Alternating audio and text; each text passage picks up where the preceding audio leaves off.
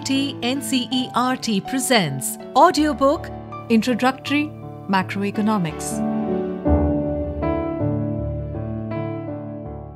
Page 71, Chapter 5 Open Economy Macroeconomics. Module 5.1 Balance of Payments. Rationale In the current era, international trade in goods and services has linked the economies of almost all countries. Foreign trade affects the earnings from exports and payments for imports, hence, the aggregate output of the country. Stocks of foreign exchange have an effect on the money supply and hence monetary policy. It is important to know how international transactions affect domestic economy, policy decisions, and consumption choices. Key concepts Balance of payments, Current account, Capital account, Balance of trade, Balance of invisibles. 5.1.1 Open Economy An open economy is one which trades with other nations in goods and services and also in assets. Examples of international transactions are import of leather goods and textiles from Italy, purchase of mines in Malaysia, South Korea buys a landmine and ports in India, an Indian citizen buying the US government bonds, foreigners buying shares of Indian companies, etc. We need to pay for what we buy in other countries. We also receive foreign exchange for what we sell to other countries. If an Indian buys a purse from the USA, she needs dollars, and when she sells it in Japan, she will be paid in yen. Someone has to mediate and convert the rupees to dollars and yen to rupees.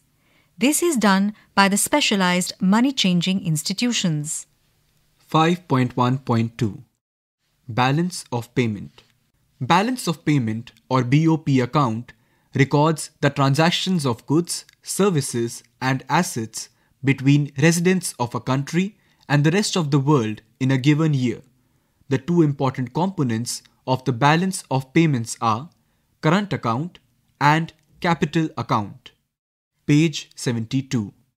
5.1.3 Current Account Current account is the record of trade in goods and services and transfer payments. Figure 5.1 illustrates the components of current account. Trade in goods includes exports and imports of goods. Trade in services includes factor income and non factor income transactions. Transfer payments are the receipts which the residents of a country get for free, without having to provide any goods or services in return. They consist of gifts, remittances, and grants.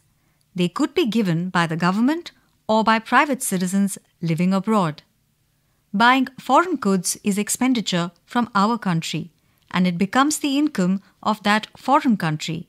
Hence, the purchase of foreign goods or imports decreases the domestic demand for goods and services in our country. Similarly, selling of foreign goods or exports brings income to our country and adds to the aggregate domestic demand for goods and services in our country. Figure 5.1 Components of current account. The flowchart that we have here shows how the current account flows. The label current account is trifurcated into three sub branches trade in goods, trade in services, and transfer payments. Trade in goods has two sub branches export of goods, import of goods. Trade in services has been divided into two sub branches net factor income and net non factor income. Net factor income is further subdivided into two sections net income from compensation of employees, net investment income. Net non factor income has one branch shipping, banking, insurance, tourism, software services, etc. Finally, transfer payments has one sub branch, consists of gifts, remittances, and grants. This is a bird's eye view of the components of current account. Balance on current account. Current account is in balance when receipts on current account are equal to the payments on the current account. A surplus current account means that the nation is a lender to other countries, and a deficit current account means that the nation is a borrower from other countries. We have here a table with three columns and one row. The first column represents current account surplus, that is, when receipts are greater than payments, as indicated in the first row.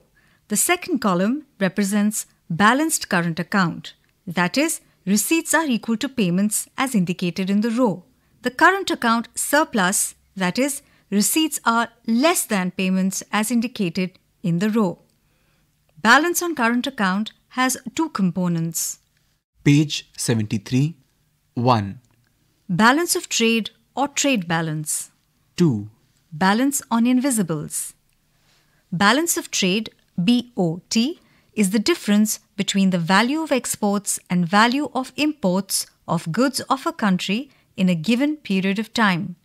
Export of goods is entered as a credit item in BOT, whereas import of goods is entered as a debit item in BOT. It is also known as trade balance. BOT is said to be in balance when exports of goods are equal to the imports of goods.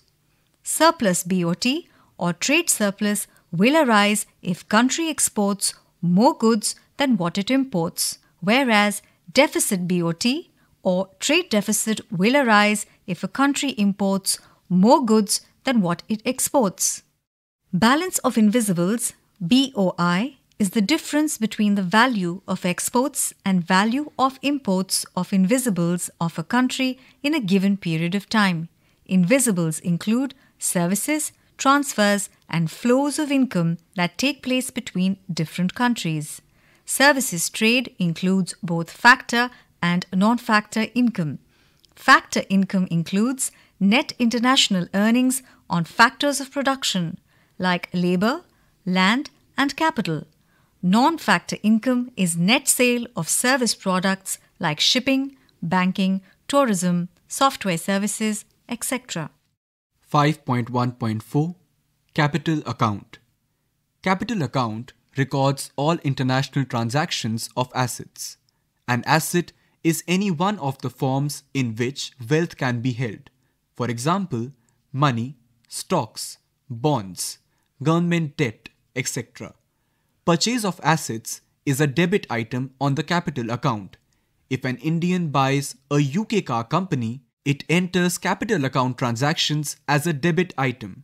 This means foreign exchange is flowing out of India. On the other hand, sale of assets like sale of car purchased from the UK to a Chinese customer is a credit item on the capital account. Figure 5.2 classifies the items which are a part of capital account transactions. These items are foreign direct investments or FDIs, foreign institutional investments or FIIs, external borrowings, and assistance.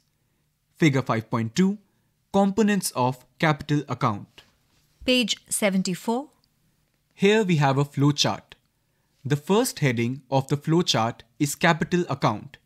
This has been trifurcated into three parts investments, external borrowings, and external assistance. Investments has two further sub branches direct investment and portfolio investment. Direct investment has another sub branch which is examples FDI, equity capital, reinvested earnings, and other direct capital flows. Portfolio investment has another sub branch which is examples FII, offshore funds. Now, on the right hand side, external borrowings has another branch, external commercial borrowings, short term debt. Finally, external assistance has a sub branch which is examples government aid, intergovernmental, multilateral and bilateral loans. Balance on capital account. Capital account is in balance when capital inflows like receipt of loans from abroad, sale of assets, or shares in foreign companies are equal to capital outflows, like repayment of loans, purchase of assets, or shares in foreign countries. Surplus in capital account arises when capital inflows are greater than capital outflows, whereas deficit in capital account arises when capital inflows are lesser than capital outflows. 5.1.5 Accounting of BOP. You must keep in mind the simple rule of double entry bookkeeping. That is, every international transaction automatically enters the balance of payments account twice, once as a credit entry and once as a debit entry. Any transaction which leads to receipt, that is, receiving money from foreigners, is entered in the balance of payments account as a credit entry, that is, it is recorded with a plus sign. In a similar manner, any transaction which leads to payment to foreigners enters as a debit entry, that is, it is recorded with a minus sign. With every item we buy from a foreigner, we must pay her, and that money will either be spent or stored by the foreigner. If she spends this money by purchasing goods and services from our country, then it is likely to enter as a credit entry in our current account. If she stores this money, then it is likely to enter a capital account. In this light, let us take the example of purchase of Italian leather jackets. When Anita buys imported jacket, for example, Valentino jacket, using a check of rupees 1 lakh, it enters the Indian current account with a negative sign that is, as a debit entry because it is import of goods. But where does that check go? One option is that the company Valentino buys a fixed deposit with this check in State Bank of India, that is SBI.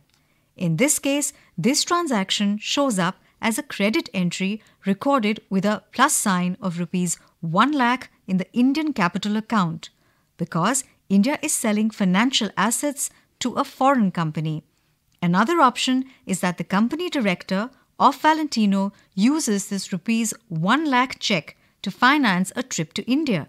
In this case, it enters the current account as a credit entry as it is export of services. By the rules of double entry bookkeeping, capital account plus current account equals 0. Page 75. However, in reality, the government often needs to use its reserves of foreign exchange in order to balance the international receipts and payments. This is reserve change in balance of payments accounts. BOP accounting follows the principle of double entry bookkeeping. Since BOP should always balance, so the value of debit entries and credit entries should always be equal. In practice, this does not balance due to non availability of data. Therefore, another item for errors and omissions is included so as to make the overall balance equal to zero. Table 5.1 provides a sample of balance of payments for India.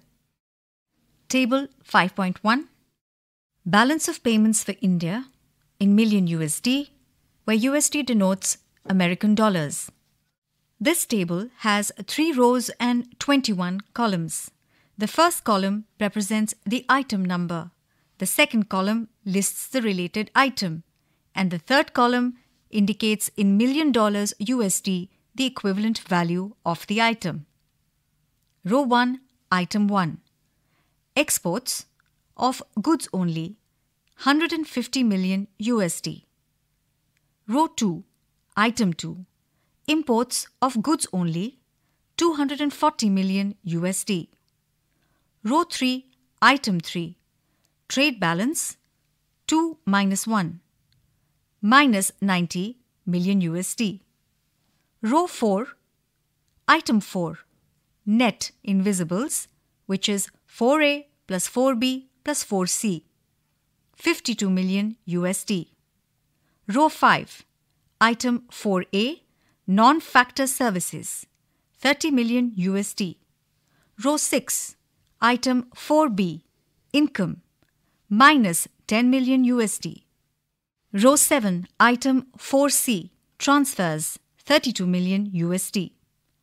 Row 8, item number 5, current account balance, which is 3 plus 4, minus 38 million USD. Row 9, item 6, capital account balance, which is 6A plus 6B plus 6C plus 6D plus 6E plus 6F. 41,115 million USD. Row 10, item 6A, external assistance net 0.15 million USD. Row 11, item 6B, external commercial borrowings net 2 million USD. Row 12, item 6C, short-term debt 10 million USD.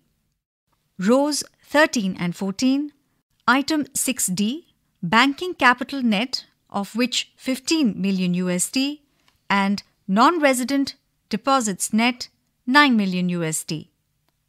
Row 15, item 6E, foreign investments net of which 6EA plus 6EB 19 million USD. Row 16, item 6E subpoint A FDI net 13 million USD. Row 17, item 6E B portfolio net 6 million USD. Row 18, item 6F other flows net minus 5 million USD. Row 19, item 7 errors and omissions minus 3.15 million USD. Row 20, item 8 overall balance 5 plus 6 plus 7 0 million USD. Row 21, item 9 reserves change 0 million USD. Given the rule of double entry bookkeeping, a surplus in current account is accompanied by a deficit in capital account and vice versa. Note in table 5.1 there is a trade deficit and current account deficit but a capital account surplus. As a result, BOP is in balance. Page 76.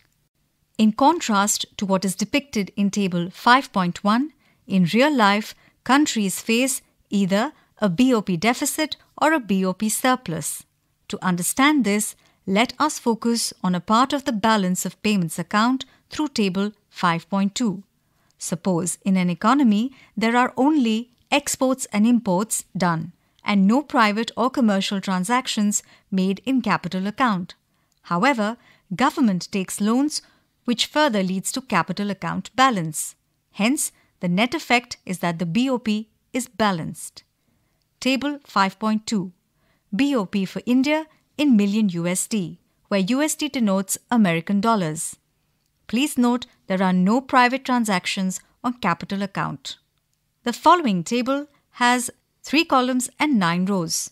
The first column represents the item number, the second lists the item, and the third the million dollar USD value related to the item. Row 1, Item 1 Exports of goods only 150 million USD. Row 2, Item 2 Imports of goods only 240 million USD. Row 3, Item 3 Trade balance, which is 2 minus 1, minus 90 million USD. Row 4, Item 4 Current account balance 3 minus 90 million USD. Row 5, Item 5 Capital account balance 5A 90 million USD. Row 6, 5A Government international loans 90 million USD. Row 7, Item 6 Errors and omissions 0 million USD. Row 8, Item 7 Overall balance, which is 4 plus 5 plus 6, 0 million USD. Row 9, Item 8 Reserves change 0 million USD. However, consider another situation when the government does not take loan. It is depicted through Table 5.3. To facilitate the current account transactions in this economy, the government draws down on the foreign exchange reserves which are held with RBI. This change in the reserves is used to adjust for the differences in the receipts and payments that occur in the current and capital accounts. These are called the official reserve transactions. Table 5.3 BOP for India in million USD, where USD denotes American dollars. Please note this table is without government loans. The table has three columns and nine rows. The first column represents the item number, the second lists the item, and the third gives the equivalent value in million USD. Row 1, Item 1 Exports of goods only 150 million USD. Row 2, Item 2 Imports of goods only 240 million USD. Row 3, Item 3 Trade balance, which is 2 minus 1, minus 90 million USD. Row 4, Item 4 Current account balance, which is 3, minus 90 million USD. Row 5, Item 5 Capital account balance 5A 0 million USD. Row 6, Item 5A Government International Loans 0 million USD. Row 7, Item 6 Errors and Omissions 0 million USD. Row 8, Item 7 Overall balance, which is 4 plus 5 plus 6, minus 90 million USD. Row 9, Item 8 Reserves change, that is, decrease 90 million USD. Any change in official reserves also indicates a condition of either BOP deficit or a BOP surplus. The data represented in Table 5.3 indicates that there is a BOP deficit. Page 77. The table before us now has three columns and two rows. The first column represents BOP deficit, the second, balanced BOP, and the third, BOP surplus. The values in row 1 are when overall balance is less than 0, overall balance equals 0 in a balanced BOP, and therefore BOP surplus has an overall balance which is greater than 0. Row 2 indicates that when reserve change is greater than 0, then the balanced BOP leads to a reserve change which is equal to 0, and the BOP surplus leads to a reserve change less than 0. It should also be noted that increase in reserves of foreign exchange increases reserves of the central bank. This increases money supply in a manner similar to open market operations. Test your understanding. 1. Classify whether the following transactions will be recorded in current account or capital account. A. Import of machinery from Japan. B. Borrowings from IMF. C. Repayment of loan by Indian government to USA. D. Shipping service by Indian company to a foreign company. E. Gifts received from a relative in Singapore. 2. Is it necessary for a country to have a balanced BOP? Also, explain how it can balance its BOP when it is having a deficit BOP. You were just listening to this chapter. Subject Coordinator Dr. Jaya Singh. Production Assistant Jagbandhu Jana. Sound Recordist Batilang Lindo and Vikas Sangwan. Artists Anandana Kapoor and Akash Ahuja. Produced by Vimlesh Chaudhary. And presented by CIET NCERT New Delhi, India.